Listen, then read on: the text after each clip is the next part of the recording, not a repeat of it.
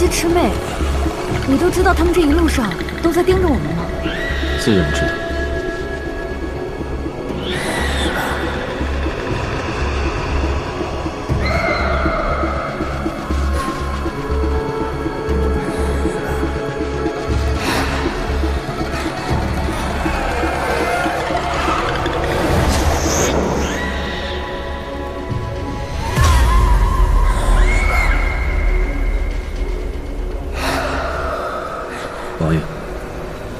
这儿的气息会不会让你感觉到毛骨悚然、浑身不适？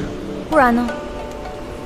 所以啊，待此次出去了之后，千万不要再一个人靠近徐天元了。杀一只蝎尾狐费了我那般大的力气，而这人谈笑间便夺了一只魑魅的生命，且能在这种地方悠闲自如的散步，撇开上古神的力量不谈。这家伙还真是奇葩。玉器，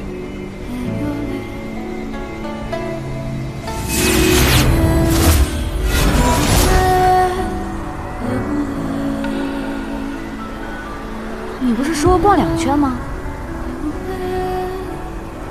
这会儿你倒是机灵了。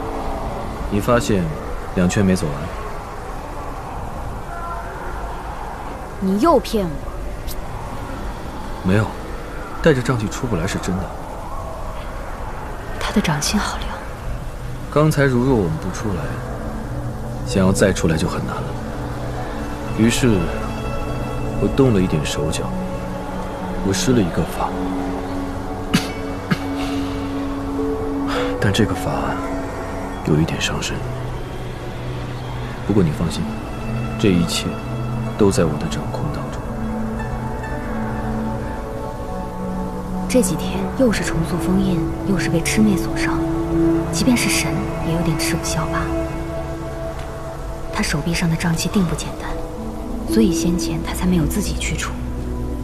察觉到魑魅要群起而攻之，他才迫不得已施法褪去瘴气，强行从虚天渊中逃出。原来，这么厉害的神，也会因受伤而难受。行者神君也爱逞强啊。